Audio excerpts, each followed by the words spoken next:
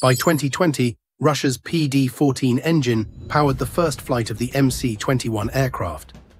The PD-14's blades are hollow and made using diffusion bonding technology, something most people have never heard of. But what makes this engine stand out in a world dominated by Western manufacturers? Let's delve into today's episode. By the late 1990s, Russia faced a significant challenge. The PS-90 engine was outdated and could not be developed further due to its design being rooted in the 1960s.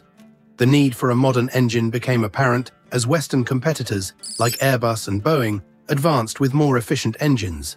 In response, Russian engineers from Aviadvigatel JSC began work on a new generation gas generator. By 1999, the foundation for the PD-14 was laid. The PD-14 was not just an isolated project. It was designed to power a family of engines ranging from the PS7 with a thrust of 71.6 kilonewtons up to the PS18, meant for larger aircraft. But the PD-14's primary goal was to power the MC-21, Russia's response to the growing demand for efficient, medium-haul airliners. Competing with the likes of the Airbus A320 and Boeing 737, the MC-21 needed an engine that could match the efficiency and reliability of Western models. The question now is, could the PD-14 deliver the performance needed to rival Western competitors? The MC-21310 took its first flight with PD-14 engines in December 2020, marking a significant milestone for Russian aviation. The PD-14 incorporated several cutting-edge technologies, Russian engineers applied 3D aerodynamic design methods for all components, resulting in a highly efficient gas path. One of the most innovative features of the engine is its fan blades, which are hollow and made using diffusion bonding technology. This makes them strong but light, crucial for increasing engine performance and reducing weight. The compressor of the PD-14 consists of a combination of titanium alloy and nickel-based materials, allowing for better durability and higher efficiency. The engine's combustion chamber uses heat-resistant materials and ceramic thermal barrier coatings, reducing the risk of overheating and improving overall reliability. Another standout feature is the PD-14's modular design. This allows for easier maintenance as sections of the engine can be repaired without removing the engine from the aircraft, something that can significantly reduce downtime for airlines the PD-14 doesn't exist in a vacuum. It faces stiff competition from the likes of Pratt & Whitney's PW1000G and CFM International's LEAP-1 engines. Both of these Western engines are used widely in popular aircraft like the Airbus A320neo and Boeing 737 MAX. In terms of raw numbers, the PD-14 holds its own. Performance differences in thrust, fuel consumption, and mass are within a 2 to 5% range. But this small gap can mean a lot in terms of long-term operational costs and fuel efficiency. The gas generator of the PD-14 is oversized compared to its competitors. With a 12 to 15% higher air intake, it's clear that the PD-14 was designed with future upgrades in mind. This opens the door for more powerful variants like the PD-14M and PD-18R, which are expected to push the engine's thrust to 18 tons.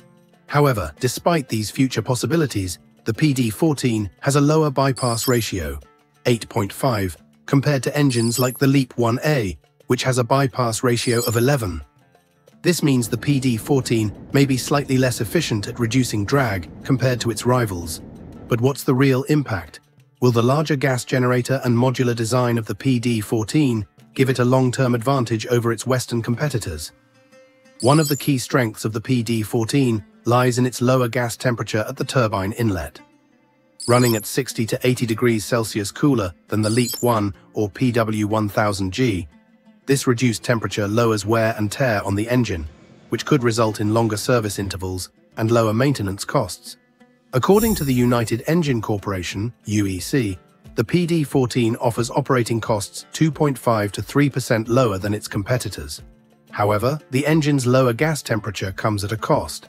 It sacrifices a bit of thrust. Additionally, the PD-14 lags behind in terms of advanced combustion chamber design. While it represents a significant improvement over previous Russian engines like the PS-90, it doesn't quite match the dual annular combustion chambers of its competitors, such as Pratt & Whitney's Talon X or CFM's TAPS 2. Can the PD-14's strengths, such as lower operating costs and modular repair capabilities, outweigh its weaknesses in performance and advanced technology? Everything was progressing well for the PD-14 and the MC-21 until February 24, 2022, when the war in Ukraine began.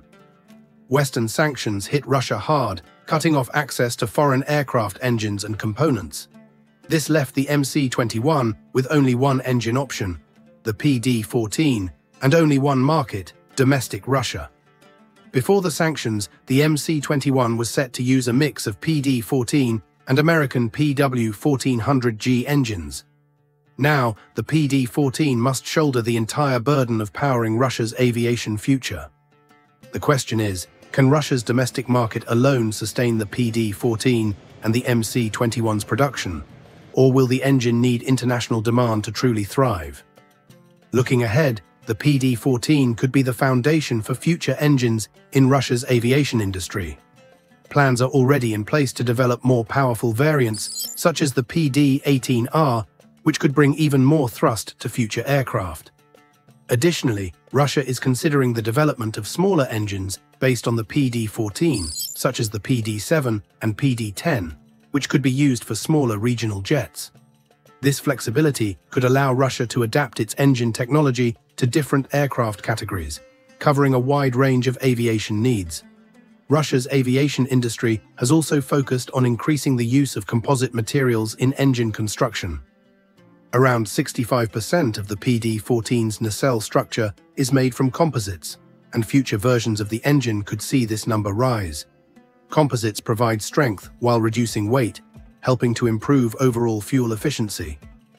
But the big question remains, will Russian engines like the PD-14 continue to innovate and compete globally, or will geopolitical pressures limit their growth?